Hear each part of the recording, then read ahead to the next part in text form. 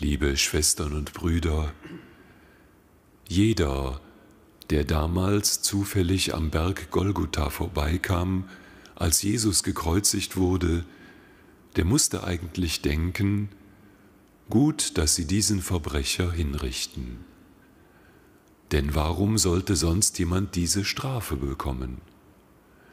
Einer, der zufällig mit ansieht, wie Jesus zwischen zwei anderen Verbrechern gekreuzigt wird, der musste denken, dass Jesus auch ein Verbrecher sei. Und Jesus kann am Karfreitag nicht vom Kreuz herabrufen, nein, nein, das stimmt gar nicht, ich habe nichts Böses getan, ich erlöse gerade die Welt. Weil aber das Kreuz missverständlich sein kann und weil Jesus am Kreuz nichts mehr erklären kann, darum erklärt er den Jüngern und uns den Sinn seines Sterbens am Abend vorher. Da feiert er Pascha. Im Evangelium haben wir davon gehört, wie dieses Pascha-Mahl vorbereitet wird.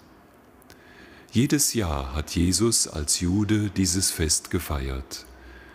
Das Gegenwärtigwerden, das Vorbeikommen Gottes, der durch den Tod ins Leben führt.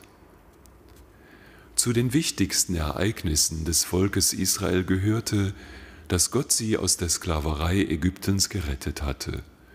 Und diese Rettung feierten die Juden jedes Jahr mit einem festlichen Essen in der Familie. Jesus hat das jedes Jahr mit seinen Eltern und später mit seinen Jüngern gefeiert. Und er feiert es auch am Abend vor seinem Sterben. Tradition ist, dass zu Beginn des Essens der Vater ein Brot in Stücke bricht, sie an alle verteilt und dann sagt, schaut mal, das ist das Brot der Tränen. Das ist das Brot, das wir in der Sklaverei essen mussten.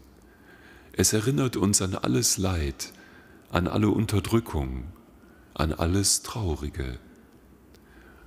Und am Ende des Essens reicht der Vater einen Becher Wein herum und sagt, und das ist der Kelch der Freude.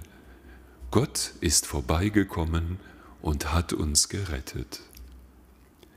Pascha feiern heißt, Gott kommt vorbei und führt mitten durch den Tod ins Leben. Nicht am Tod vorbei, sondern mitten durch.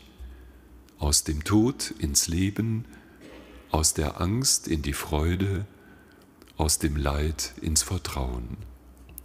Und das feiert Jesus mit seinen Jüngern am Abend vor seinem Leiden. Aber bei diesem Essen ändert er plötzlich etwas.